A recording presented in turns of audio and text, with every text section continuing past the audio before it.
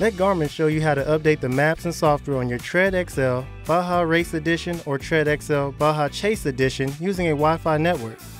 You can use a computer and Garmin Express if necessary, but the Wi Fi option requires fewer steps. To successfully complete a Wi Fi update, a wireless connection to home high speed internet is required. It is important to avoid using a mobile hotspot. Check out our Wi Fi connections video for tips to ensure your Wi Fi update is successful.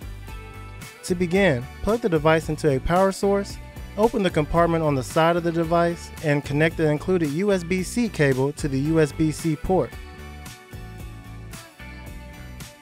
Then, connect the other end of the cable to an external power source.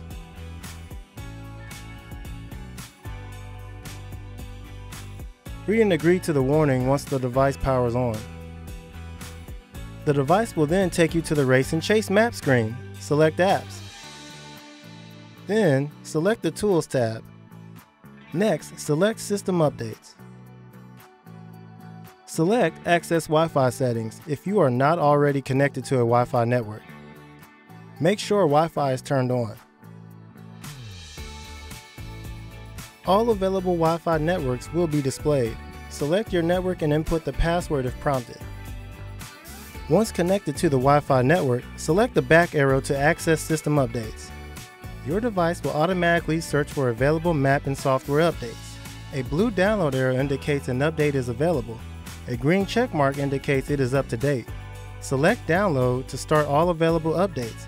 If you have not connected your device to a power source, you will now be prompted to do so. Follow the on-screen prompts. These updates will take an extended amount of time. You will not be able to use your device during the update. Select Restart and install after the download is finished to finish the update. Read the important installation notes and select OK.